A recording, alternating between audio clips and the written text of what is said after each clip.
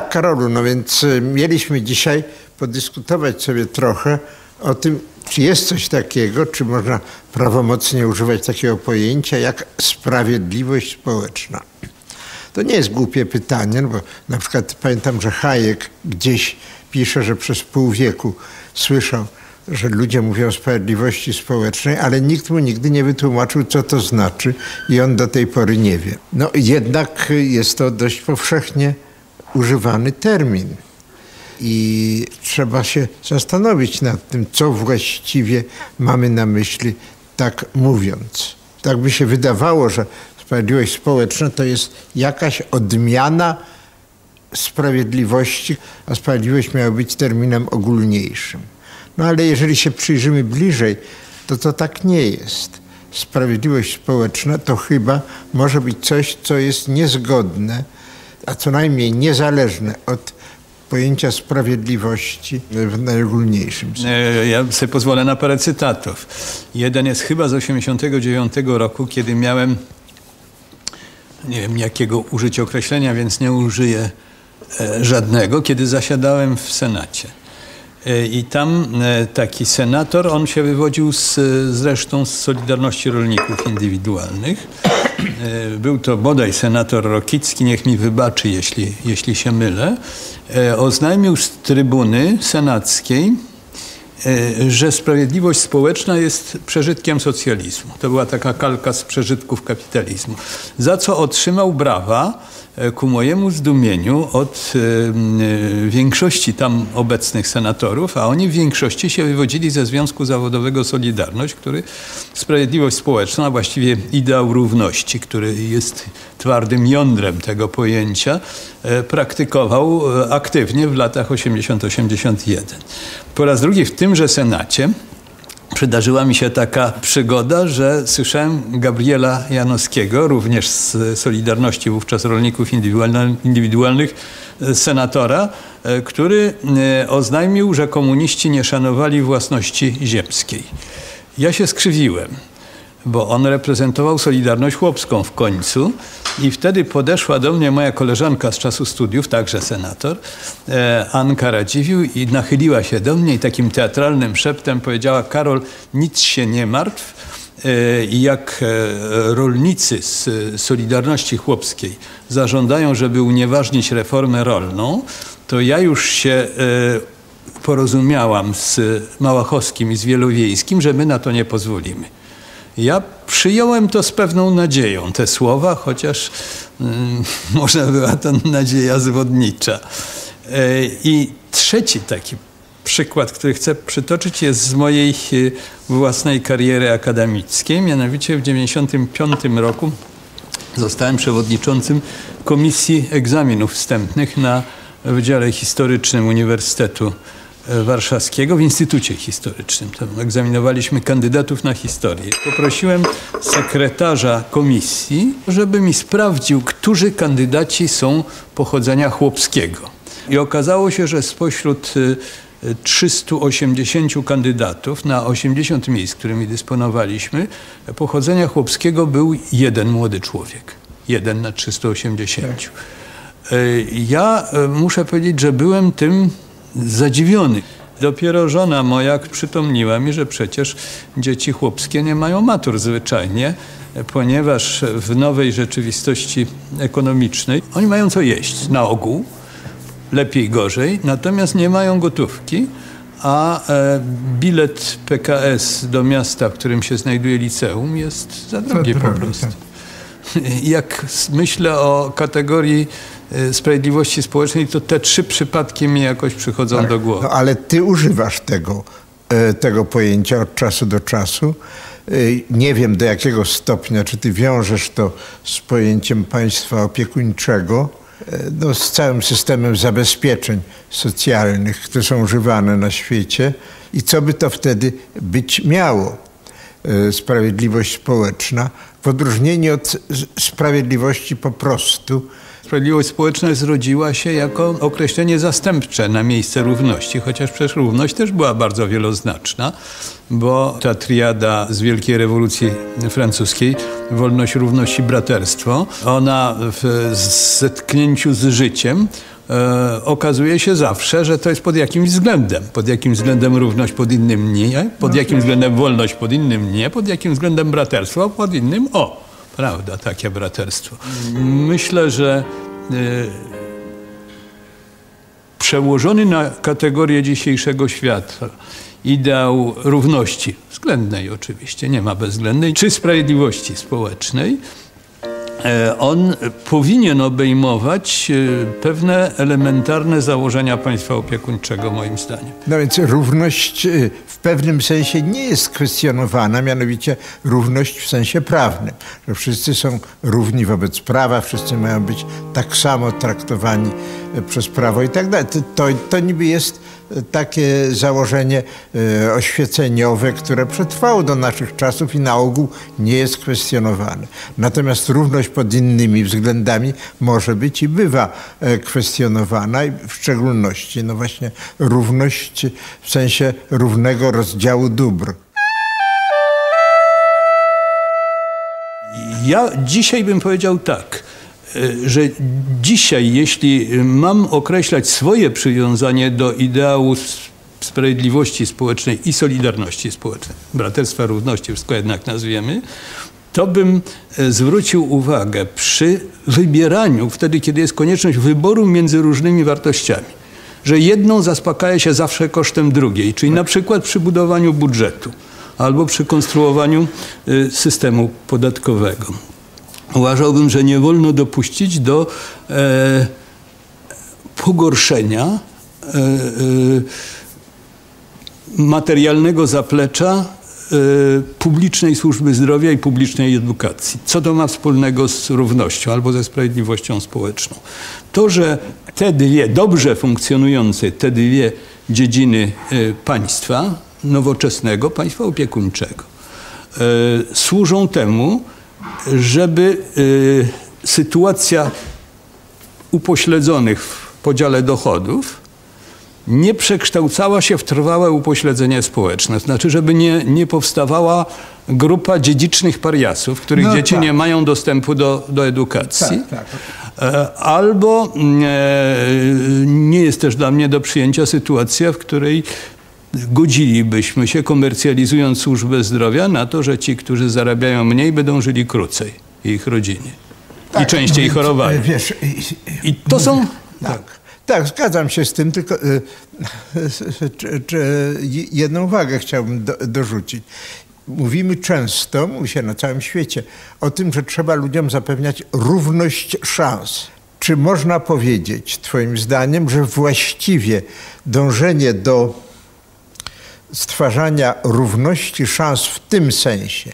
Nie w tym sensie, żeby wszyscy tak samo zarabiali, y, y, ale w tym sensie, żeby i, i żeby różnice mm, majątkowe czy różnice y, rodzinne możliwie jak najmniej wpływały na zdolność młodych ludzi do E, realizowania swoich możliwości. Czy to właśnie byłoby tym samym?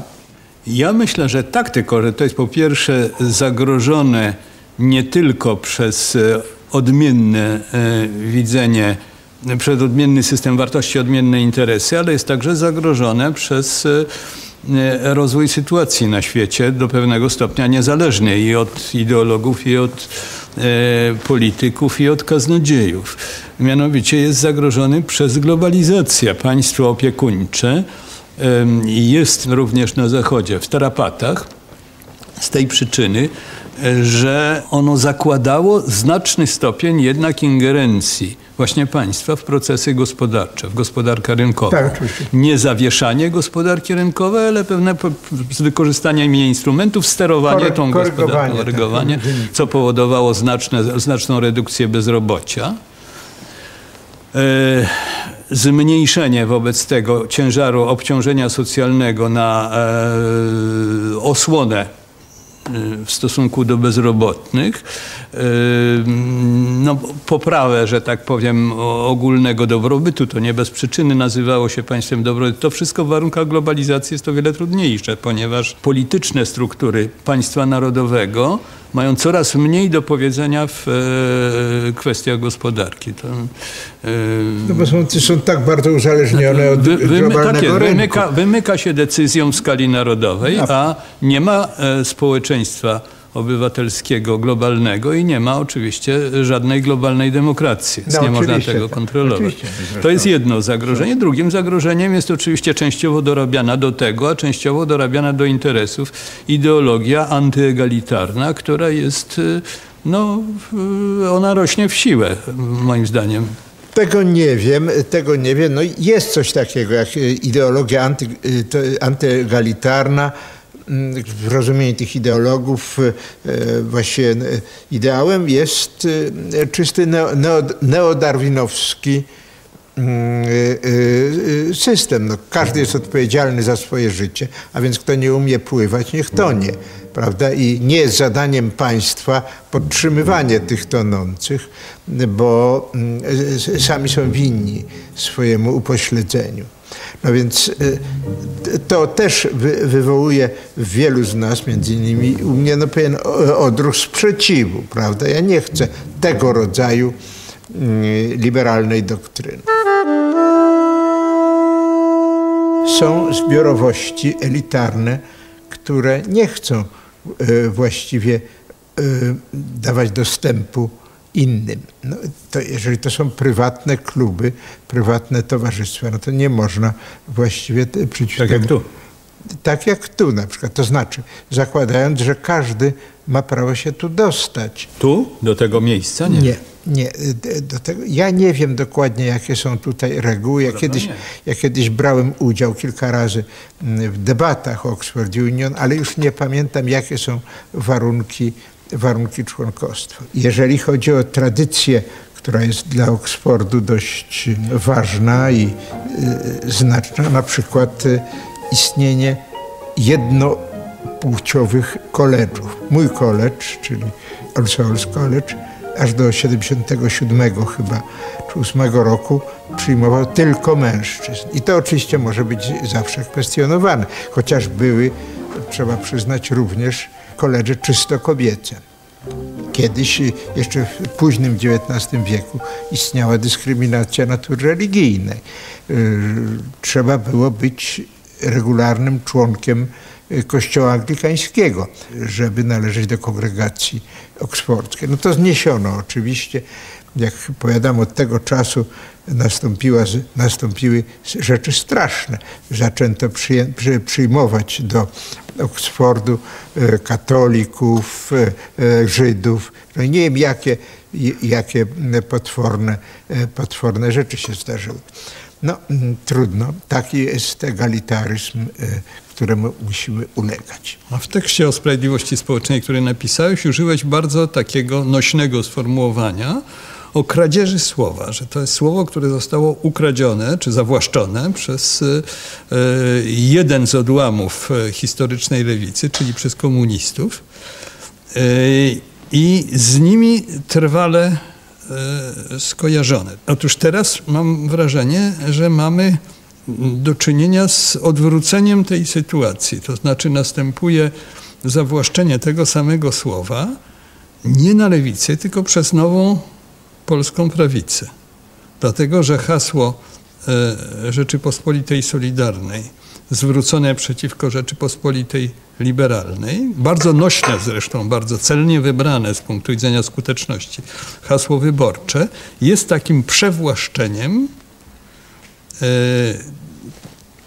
w gruncie rzeczy ideału sprawiedliwości społecznej, który teraz on e, opuszczony na dobrą sprawę przez tych, którzy kojarzeni są w Polsce z lewicą na ogół, tak. znalazł się w tej chwili w obozie aktualnie rządzącym polskiej radykalnej prawicy. Tak, ja to nawet... jest dosyć interesujące zjawisko. Tak, masz rację. Ja nawet y, nie używam już y, w tej chwili tych słów lewica i prawica, bo to jest tak mylące. Tak, one są... E, tak mylące. E, ale oczywiście, no, e, jak ktoś mówi solidarny, no, ty jesteś, nie wiem, ale ty uchodzisz za człowieka, za autora tego słowa. Słowo jest Znaczy, słowniku. Słow, nie, słowo jest słowniku. Za autora nazwy tego ruchu. Bo ja zaproponowałem 17 września w 80 roku rezolucję w atmosferze sporu dosyć gorącego, która wprowadzała e, ogólnopolską strukturę Tak, tak. pod taką właśnie nazwą, Pod taką właśnie żeby, nazwą. która miała ją odróżnić. No tak, Rzeczywiście no więc, tak było. No więc jesteś rzeczywiście autorem wielkiej historycznej. To, to znaczy, że ty wiesz, ty wiesz, co to znaczy, za co ja w rezultacie odpowiadam? No, odpowiadasz za rzeczy, za które trudno ci odpowiadać. Oczywiście. No trudno, ale odpowiadam. Tak. Nie no, hasło Solidarności, czy też Polski Solidarnej przeciwstawionej Polsce Liberalnej jest absurdalne oczywiście. Wracając do sprawy mm, r- r- równości no, kobiet. Przecież pamiętamy, że e, w Wielkiej Brytanii kobiety uzyskały prawo głosu dopiero po I wojnie światowej, a we Francji dopiero po II wojnie światowej. Więc widzimy, jak bardzo ta rzecz, która nam się wydaje czymś w tej chwili czymś oczywistym i niekwestionowalnym, jak długo to trwało, zanim doszło do do, do jej realizacji. Ja y, pamiętam, że właśnie kiedy w moim koledżu, a to bardzo taki, no jakże to powiedzieć, no, y, y, bardzo elitarny i prestiżowy college All Souls, jak była dyskusja na temat przyjmowania kobiet jako członków koledżu.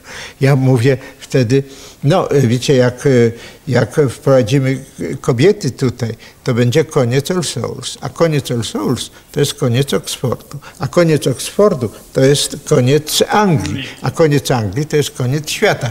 Więc musimy się zastanowić nad konsekwencjami naszych głosowań. No niemniej, bo oczywiście moje, y, y, moje liberalne przesądy sprawiły, że w końcu jednak oczywiście głosowałem za tym, żeby kobiety, dopuścić. żeby kobiety dopuścić. I oczywiście jest ich trochę w naszym koledżu, niewiele, ale trochę. E, No i, i tak to, mm, i to jest jedna z tych dziedzin, które, gdzie, gdzie wydaje się, że mm, y, no, kwestionowanie e, równości już nie, już nie istnieje. Słowo socjalizm zostało tak poplamione e, historycznie, tak e, pogmatwane w swojej treści, że właściwie nikt nie wie, co to znaczy w tej chwili w odniesieniu do e, istniejących warunków. Prawda? Wiadomo było kiedyś, co to znaczy. W XIX wieku właściwie, czy na początku XX wieku no, istniały partie socjalistyczne i wiadomo było, czego one chcą. E, A potem to już e, słowo zostało mm, e, ukradzione przez tyranię leninowsko-stalinowską. No Skutecznie. Bardzo skutecznie, skutecznie. tak. I rezultat jest taki, że w tej chwili rzeczywiście trudno się przyznawać do takiego słowa. Jesteś socjalistą, to znaczy chcesz, żeby, żeby stalinizm wszędzie panował, czy coś w tym rodzaju. No, jakieś takie absurdy są łatwe do wymyślenia. No a, a jeśli nie, trzeba by definiować, co to słowo znaczy w obecnych naszych warunkach i w przeciwstawieniu do czego. Ale niestety słowo zostało po prostu znieprawione i zagmatwane i y, jest trudno do tego się przyznawać. No, chociaż e, warto przypominać e, tradycje rodzinne różnych polskich polityków. E, ja zawsze lubię e, przypominać o tym, że Jan Olszewski, na ogół nie kojarzony z lewicą ani z socjalizmem, jest e, siostrzeńcem Stefana Okrzei, którego powieszono na stokach Cytadeli jako Cytadeli. bojowca Polskiej Partii No Socjalistycznej. tak, oczywiście, że w końcu Piłsudski był socjalistą Piłsudski przez był socjalistą, no prawda, swojego tak, no. życia, prawda? Ale mu przeszło. Ale mu przeszło, tak. No dobrze, więc y, to jest los słów, y, właśnie takich słów definiujących ludzi. Jest wiele takich słów, nawet słowo chrześcijanin no, zrobiło się niejednoznaczne, prawda, z różnych historycznych Podejrzane, bo co to nie katolik. Co? Podejrzane. Chrześcijanin, co nie katolik, znaczy? Tak, tak, tak. tak. A katolik to znaczy co? Czy Katolik w porządku, ale niekoniecznie tak, tak, chrześcijanin. tak, ale tak. nie zawsze w porządku, bo też, bo też y, Polak katolik to jest też pewna zbitka, która, Polak która ma to- tradycję po No w znacznej mierze endecką. Tak. Co? W znacznej mierze endecką. Tak, no a w każdym razie nieprzyjemną, do której my nie, nie chcemy się przyznawać. No więc tak, to, tak jest los słów i to jest również los pojęcia, o którym dziś żeśmy debatowali, pojęcia sprawiedliwości społecznej. A mimo wszystko, mimo wszystko i mimo mglistości tego pojęcia, ja nie jestem gotów się go wyrzec y, y, całkowicie, bo myślę, że ono zawiera w sobie coś ważnego i, i potrzebnego nam. Mianowicie, no właśnie, mm, tak jak mówiłem, no, poczucie wspólnoty losu ludzi. Poczucie, że jesteśmy cząstką zbiorowości, która nie jest tylko gatunkiem zoologicznym, ale pewnego rodzaju ciałem moralnym, mimo wszystkich okropności, które się dzieją. No więc czyśmy do czegoś doszli, Karolu, w naszej debacie? Tak jak zwykle. E, tak, no zdaje się, że nie, nie, nie jesteśmy od siebie odlegli, jeżeli chodzi o e, e, stosunek nasz do tej sprawy. No to powinno być e, wytłumaczalne, że nie jesteśmy od siebie odlegli. Ponieważ wywodzimy się z podobnego środowiska, tak? Po pierwsze, wywodzimy się z podobnego środowiska, po drugie, mimo różnicy wieku nie takiej wielkiej wcale. Ona jest coraz mniejsza. Nie wiem, czy, czy to zauważyłeś. Przynajmniej relatywnie coraz mniejsza. Ja cię jest. uważam za młodzieńca ciągle. jak to Z dobrze. Niejaką przesadą może, ale, e, ale zawsze tak było, więc i musi tak To prawda, tak było. Ja cię uważałem za mistrza, tak jak tu mówią w środowisku osób kręcących ten film. To znaczy, jakby to powiedzieć, za, za autory, to jest nadużywane, te autorytety, wszystko to zostało jakoś tak e, zużyte, te, te, te słowa bardzo w Polsce dzisiejszej, ale e, no wszyscy żeśmy się na ciebie gapili w roku 56 i, i, i wtedy wieku przypiane, to dla mnie to ważna rzecz, to pierwszy bunt w moim życiu. Dla buntownika pierwszy bunt w życiu jest y, Tak. formacyjnie ważny. No i to jest y, wielka satysfakcja, jak można przecież przy bardzo różnych losach y, skonstatować, że ta taka wspólnota, która istniała wśród ludzi, którzy wtedy się o coś chcieli upomnieć, że ona przetrwała właśnie przez tyle zawirowań historycznych, bo z tego wynika, że ta wspólnota jakoś przetrwała. Tak, jeżeli tak. rzeczywiście Tak, rozumiemy realna, podobnie. Jest realna. A sprawiedliwość społeczna nie może przecież żądać, e, żebyśmy się odnosili do wszystkich ludzi tak samo. Oczywiście, że dajemy To zależy czyja sprawiedliwość prywatnym- społeczna, kto będzie, kto będzie demiurgiem tej sprawiedliwości. No, kto będzie demiurgiem? Kto, ktokolwiek by był, nie możemy wysnuwać z idei sprawiedliwości społecznej absurdalnej zasady, że mamy, się, że mamy do wszystkich ludzi mieć taki sam stosunek. e, Tego to żaden demiurg od nas nie zażąda. Nie, nie zażąda, bo to było zbyt głupie jednak. No bo jest jasne, że dajemy przywileje prywatne różnym ludziom, bo ich lubimy, bo ich kochamy. Nasze dzieci, nasi, nasi, nasi rodzice, no nasi przyjaciele mają jakieś przywileje w naszym stosunku. To nie, I to do nich. I to nie ma, w tym nie ma nic złego i nic y, niezgodnego z ideą sprawiedliwości społecznej. Tak musi być.